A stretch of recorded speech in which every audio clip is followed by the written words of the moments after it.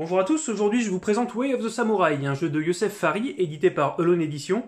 C'est un jeu qui a été financé sur Kickstarter et dont la livraison se fait en ce moment. Alors je précise tout de suite que je présente la version Kickstarter Deluxe, mais que j'irai pas forcément en détail dans tous les éléments présentés pour un souci de, concision. Donc, Way of the Samurai, c'était prévu euh, comme un jeu solo, il existe euh, une variante de joueurs. Il vous propose de, recréer l'ambiance des combats de samouraï euh, de façon très filmesque, c'est-à-dire très tendue, très lente, assez stratégique. Et le jeu a déjà la réputation d'être très très difficile. On va le voir assez rapidement. Alors dans ce que j'évoquerai, euh, pas forcément en profondeur, on a euh, par exemple les cartes de lieu ici, qui vont permettre pour un certain coup de générer des événements, aléatoires. On a la carte de météo ici, qui sert uniquement à vous compliquer la tâche en ajoutant des malus. On a deux modes campagne, dont un des plateaux est présenté ici, et puis le mode de joueur auquel j'ai pas eu l'occasion de m'essayer. Dans Way of the Samurai, avant tout, vous avez un adversaire que vous allez choisir dans le deck du même nom. Ici, j'ai choisi Ishida qui a 8 points de vie et 5 points de ki. On va revenir sur les, sur les statistiques. Et vous choisissez également au départ votre arme. Ici, j'ai le katana. Le katana n'a pas de modificateur particulier. Généralement, vous avez des armes euh, qui vont fonctionner au risk reward avec euh, plus de dégâts infligés mais également encaissés, par exemple.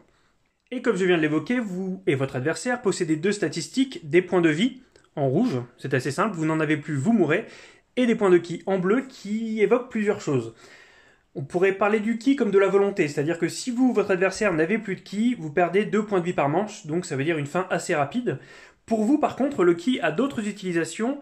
Un point de ki peut vous permettre de piocher une nouvelle carte, on va y revenir en cours de partie. Il peut vous permettre également de booster votre défense en cas d'urgence. Et il peut enfin vous permettre de prévoir le mouvement adverse, c'est ce qui est le plus intéressant à mon avis.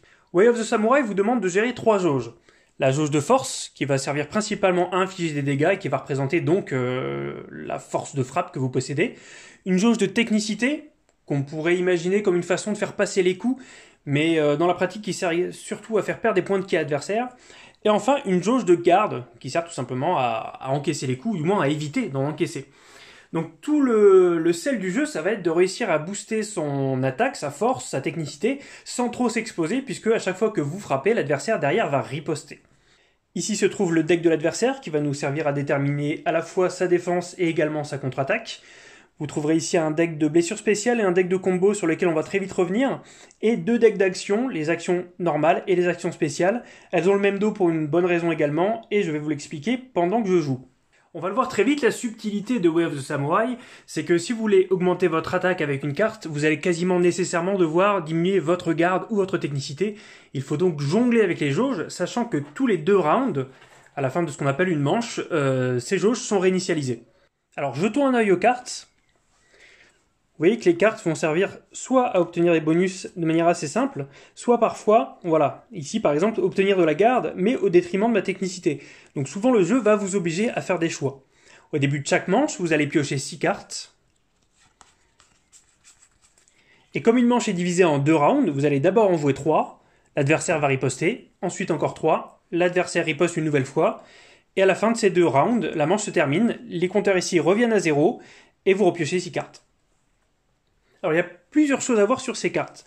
La première, ce sont les petites icônes qui sont en haut à gauche. Ce sont des icônes de combo. Elles sont très très importantes puisqu'elles vous permettent d'obtenir des, actions supplémentaires. Si par exemple, je fais complètement au hasard, hein, je place ces trois cartes-là pendant le premier round de ma manche, j'ai donc un combo, elles sont pas droites du tout, tout va bien. J'ai donc un combo ici, ça me donne deux choix, soit récupérer un point de ki, sans dépasser mon maximum autorisé, donc pour le moment ça ne m'intéresserait pas, soit piocher une carte spéciale, qui sont des cartes généralement un petit peu plus fortes, et la stocker sur le côté, sachant que je pourrais l'utiliser à tout moment dans la partie. Si les cartes spéciales ont le même dos que les cartes normales, c'est parce qu'une fois qu'elles ont été utilisées de la réserve pendant un, round, elles retournent dans votre défausse et donc peuvent être repiochées dans la suite de la partie sans avoir à utiliser de combo ou, quoi que ce soit. Vous aurez peut-être d'ailleurs noté qu'il existe un autre type de combo, ici on voit une tache de sang, c'est une des plus intéressantes. Euh, avoir un combo tâche de sang, c'est-à-dire trois cartes avec cette icône pendant un round, vous permet de faire augmenter le dé, ici le dé combo. Et en fait, plus ce dé va être élevé, plus en l'utilisant, vous pourrez infliger des dégâts à votre adversaire. Quand il est à 1 et 2, il ne fait rien du tout. À partir de 3, je cherche le 3, à partir de 3, vous allez infliger une blessure.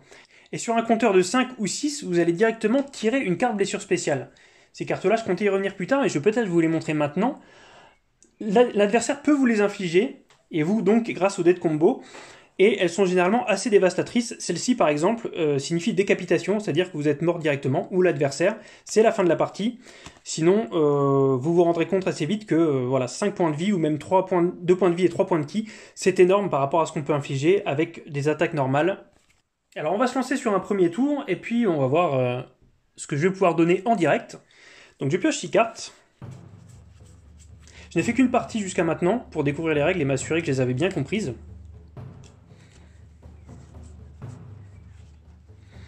Alors, généralement, ce qui avait bien marché pour ma première partie, c'était d'aller chercher de la défense pendant le premier round, histoire d'être sûr de ne pas prendre trop trop cher, et éventuellement au deuxième, de la sacrifier un petit peu pour essayer de mettre un coup, mais en gardant quand même un, statut assez élevé. Ce que je pourrais reprocher au jeu, mais peut-être qu'on y reviendra à la fin de la vidéo, c'est que les statistiques à avoir pour infliger des dégâts sont un petit peu prévisibles. C'est-à-dire qu'à partir de 3 de défense, 3 de garde, vous savez que vous êtes tranquille pour le tour, il n'y a aucune carte qui infligera des dégâts à 4 défense. Et de la même manière, vous savez généralement que la technicité va servir à faire baisser le ki et la force à faire baisser la vie, ce qui est dommage finalement, puisqu'on aurait pu voir des,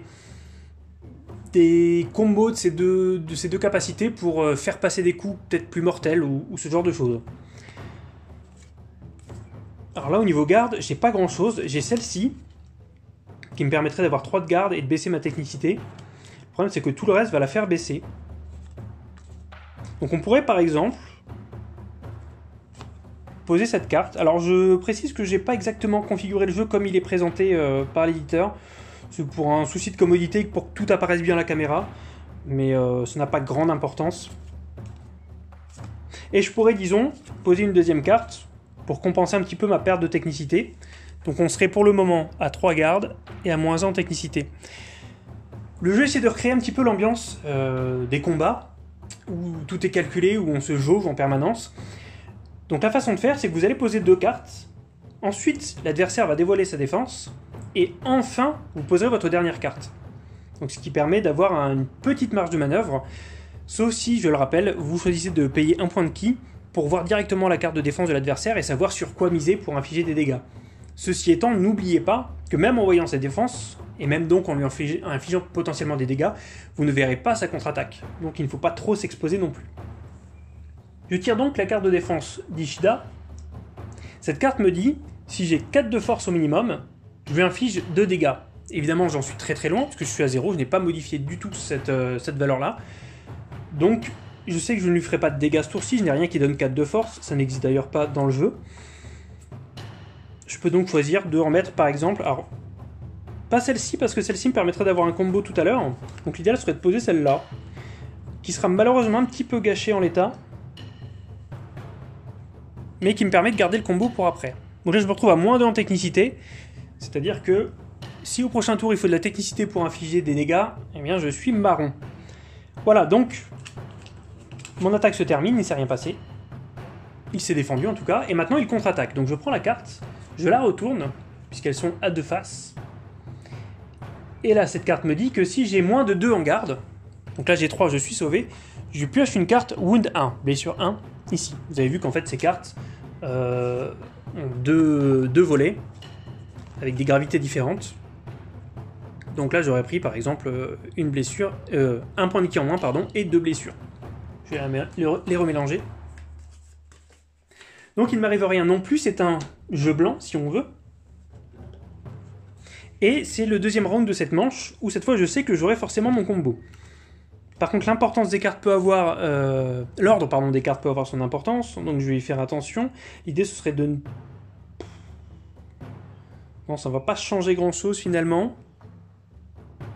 Je pourrais essayer de monter tout de suite. Bon, on va voir. Je pense que là, ça n'aura pas grande importance. Donc je prends 3 en technicité. 1, 2, 3. Et je perds 1 en garde. Ce qui me met potentiellement en danger là pour le coup. La défense de l'adversaire.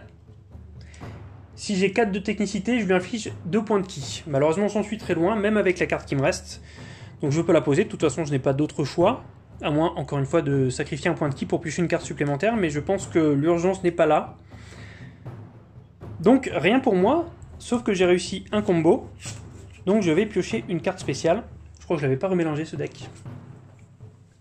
Je vais piocher une carte spéciale que je stocke et je pourrais utiliser un peu plus tard. Vous voyez que là, c'est de l'attaque sans, sans pénalité en défense. C'est pas mal du tout. Donc on n'oublie pas la riposte de l'adversaire. Donc si ma garde est négative, je perds 3 points de vie. Heureusement, ce n'est pas le cas. La manche se termine donc sans aucune blessure d'une part ni de l'autre. On réinitialise les marqueurs et la manche suivante continue. La manche euh, suivante commence, pardon. C'est tout ce stress qui me fait bafouiller. 5, 6.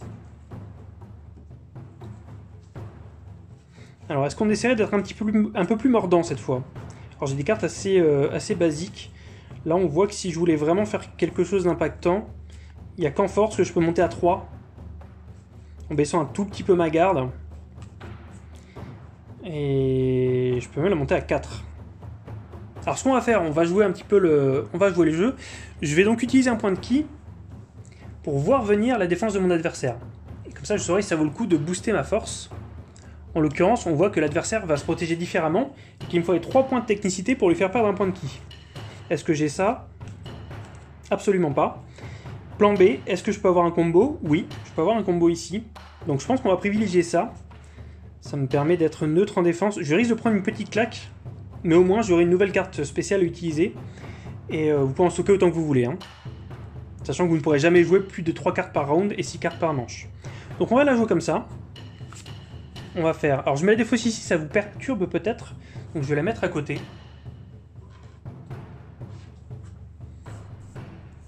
Voilà, on va jouer ces deux cartes-là. Et puis la troisième, ça n'a aucune importance, puisque de toute façon, je connais déjà sa défense. Donc on est à 3 en attaque, qui pourront toujours servir euh, au round suivant, ne l'oublions pas. Et moins 1 plus 1, 0 en garde. Donc aucun dégât pour lui. Ceci étant, je récupère tout de même une nouvelle carte spéciale. Je me suis assez mal organisé finalement pour poser mes cartes. J'espère que c'est assez clair pour vous. Et on va voir ce que m'inflige l'adversaire. Si la défense, la garde est inférieure à 2, c'est le cas malheureusement.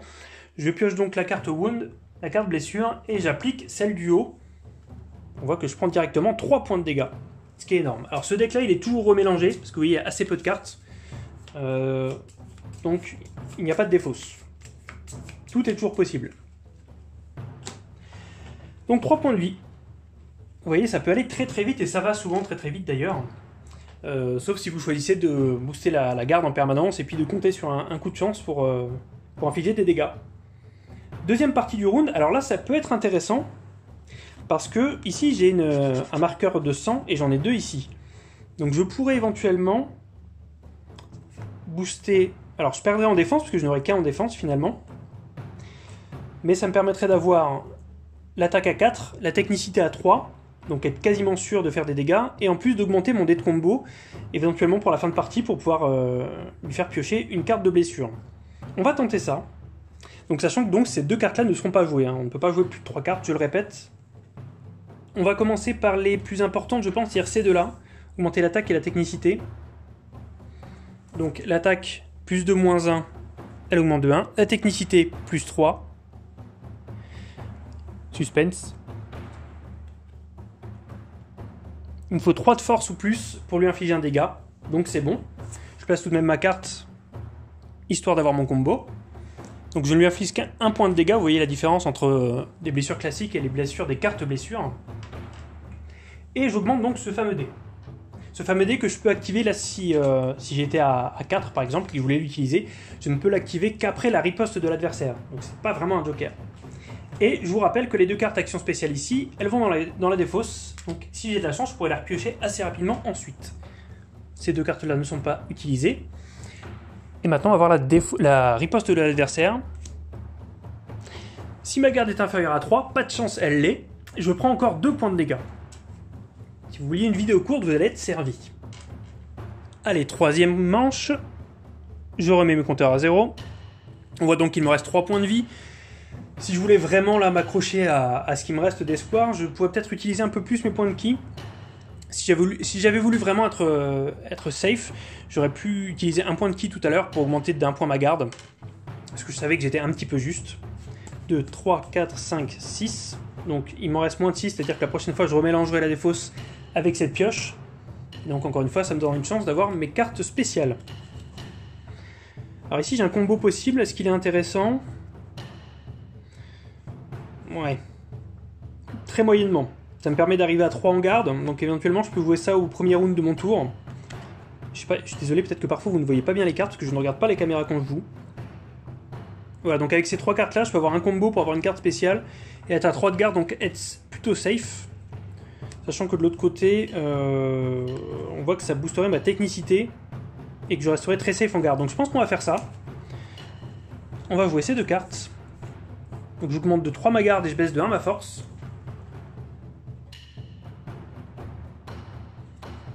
J'aurais pu regarder la défense de l'adversaire aussi, mais je préfère garder mon ki pour des, situations vraiment euh, critiques et il risque d'y en avoir. La carte me dit que si j'ai plus de 2 en force et en technicité, je peux faire perdre un point de vie ou un point de ki. Là, malheureusement, si je veux m'accrocher à mon combo, ça n'ira pas. Et si je veux... Ah, il faudrait que je booste tout de toute façon. Donc ça ne sera pas possible. Donc on va rester au plan de base. On va augmenter sa force de 1 pour revenir à 0. On ne lui inflige pas de dégâts. Mais au moins, on ne risque pas de recevoir non plus. Et on tient une carte spéciale supplémentaire. Qui, vous le voyez, est assez all-in. Riposte de l'adversaire. On a bien fait de monter la garde. Si elle était inférieure à 3, ce qui est tout juste, c'est toujours strictement inférieur. Hein j'aurais pris deux points de dégâts et j'aurais été vraiment sur les genoux. Alors là, on voit que. Là, on voit qu'on est faible et qu'on va jouer un point de ki, je pense, pour voir, euh, voir la défense de l'adversaire. Quoique non, c'est une mauvaise idée, puisque de toute façon, je ne peux pas changer grand chose, je ne peux que monter ma technicité. Donc ça passe ou ça casse. Et je n'ai pas moyen de faire de combo, donc on va la jouer comme ceci. On va. Oups, excusez-moi on va augmenter de 5 la technicité, donc la technicité ne peut pas excéder 4. On va perdre 3 en force, pareil, ça ne peut pas excéder moins 2. Et on va voir ce qu'en pense notre ami Ishida. Alors donc là c'est pour le coup un coup de poker qui fonctionne puisque euh, avec 3 ou plus de technicité je lui inflige un point de ki en dégâts, enfin un point de ki en moins. Donc ça me va très bien, j'augmente ma défense et il perd donc un point de ki. je ne sais pas si c'était assez clair mais les points de ki ne servent pas à l'adversaire. Euh, il perd uniquement les, deux points de vie par manche euh, s'il n'en a plus. Donc c'est pas le plus intéressant, mais au moins on lui a infligé quelque chose. Voyons maintenant la riposte d'Ishida.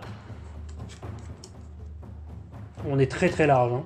Il m'aurait fallu une garde négative pour prendre des dégâts. Par contre, ça aurait été très très punitif, évidemment. Parce que le jeu sait sanctionner les prises de risque euh, inconsidérées. Voilà, fin de cette manche. On réinitialise encore les compteurs. Alors on va refaire un tour. Et cette fois, comme on a moins de 6 cartes dans la pioche, on va mélanger la défausse avec le, reste de la pioche. Alors je vais pas mélanger face caméra, je sais que c'est plus joli, mais je suis tellement obligé de faire des acrobaties pour que vous voyez mes cartes que je vais faire ça hors, champ. De la même manière ici, il ne reste plus qu'une carte. Donc pas assez pour faire euh, un round. Donc on va remélanger toutes les cartes de Suerishida en faisant attention au sens évidemment. Et on est prêt pour un nouveau round.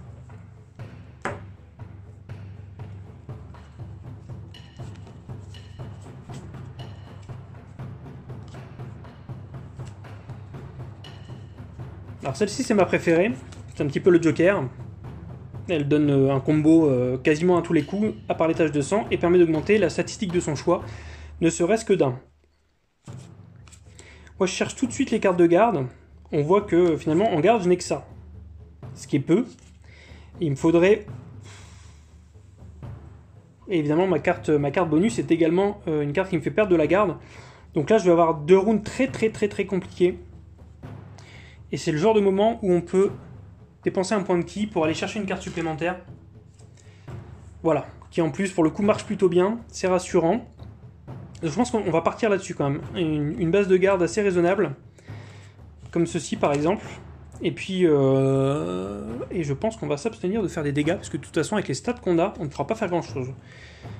On essaiera éventuellement de faire un combo pour avoir un joker, sachant que là, la partie est assez mal engagée. Je vous cache pas que j'ai eu, j'ai eu mal, et j'ai eu du mal à sortir les combos que j'espérais.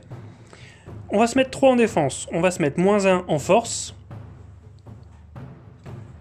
Pour le plaisir, on va regarder. Donc là, en plus, c'est la carte la plus exigeante. Il faut 3 ou plus en force et en technicité pour infliger au choix des blessures ou des dégâts de ki. On va rester sur notre ligne. Euh, je pense qu'on va garder cette carte-là pour le, pour le round suivant. On va plutôt placer quelque chose d'assez neutre. On va se remettre à 0 en... Ah non, mais non. Ah, je perds mon, je perds mon, mon combo. C'est celle-ci qui me permet d'avoir un combo. Hop. Donc, aucun dégât de ma part.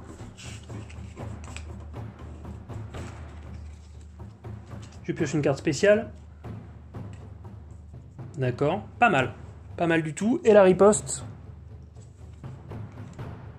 Ok, donc s'il y avait eu moins de 3 en garde, je perds un point de vie. Euh, je le répète, c'est ma petite critique sur ce jeu, c'est de savoir trop certainement à quel moment on est vraiment safe. À 3 de garde, vous êtes safe dans tous les cas, il n'y a aucun cas où vous ne serez pas safe. Et avec la technicité, vous n'infligerez jamais de dégâts physiques, de points de vie. Voilà, c'est un petit peu dommage. Qu'est-ce qu'on peut faire, nous? Est-ce qu'on mettrait pas juste pour le, la flambe un petit point de ki pour voir sa défense? D'avoir une chance de lui faire quelque chose. Là, il me faudrait deux en force et en technicité, donc euh, bah, j'en suis loin. Ici, j'aurais deux de force, par exemple, en perdant un de défense.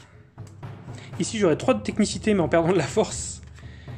Et ici, j'aurais un point bonus. Là-bas, j'ai deux de technicité, ça c'est pas mal. Ça, ça me fait la technicité, donc je suis tranquille. L'idéal, évidemment, ça aurait été de placer celle-ci et une troisième tâche de sang pour avoir le, combo, euh, le combo sang et faire augmenter le dé. Mais ça m'expose complètement. Mais on va le faire.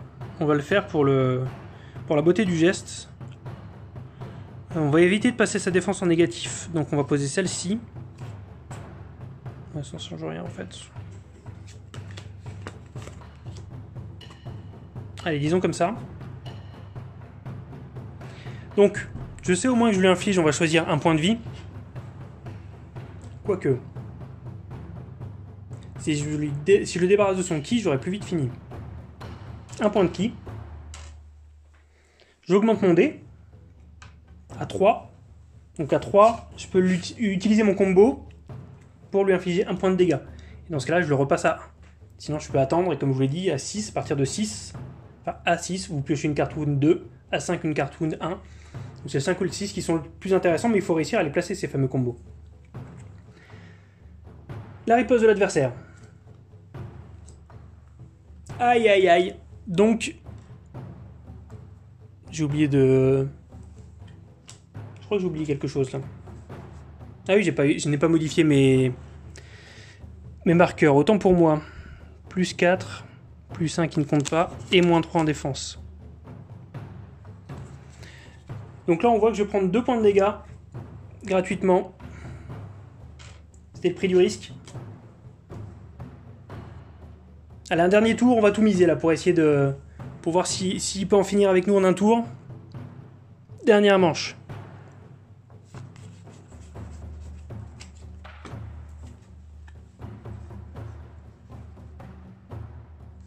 On va miser sur l'attaque à tout prix. On va même d'ailleurs, perdu pour perdu, mettre un point de ki, voir ce qu'il nous réserve en défense. il nous faut de la force. Très bien, j'en ai à foison. Force au détriment de la technicité, c'est parfait. j'en ai pas de temps à foison que ça en fait. J'ai même plus du tout de foison là. Hum, hum. Ce qui signifie que je suis incapable de lui infliger des dégâts. Bien. On va miser sur la défense, on va booster la force pour le, round suivant, au cas où ça nous servirait quelque chose. Donc on a moins 2 en technicité, 2 en force, 2 en défense. Autant pour moi, troisième carte. On va mettre un défense en plus pour être tranquille.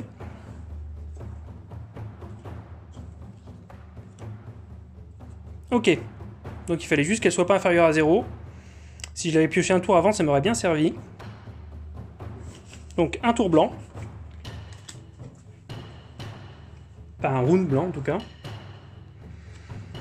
Et là, et là, et là, je peux remonter ma technicité au détriment de ma force.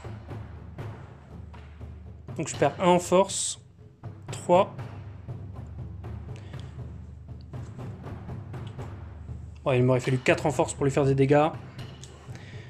J'augmente ma garde, donc je sais déjà que ce tour-ci, il ne fera pas de dégâts non plus. Voilà, on va s'arrêter là, c'était Way of the Samurai. Vous le voyez, un jeu qui est... Euh, difficile, c'est peut-être pas le mot, mais c'est un jeu pour lequel vous allez vous améliorer avec le temps parce qu'il faut connaître les cartes. Comme je vous l'ai dit, je sais déjà qu'à 4 de garde, moi, je suis tranquille en termes de dégâts. Il faut savoir euh, jauger un petit peu par rapport à ce qui vient de sortir, ce qui peut arriver en défense, en contre-attaque. C'est un jeu qui est très intéressant. C'est un jeu aussi qui aurait pu se doter de plus de cartes, ajouter un petit peu plus d'aléatoire.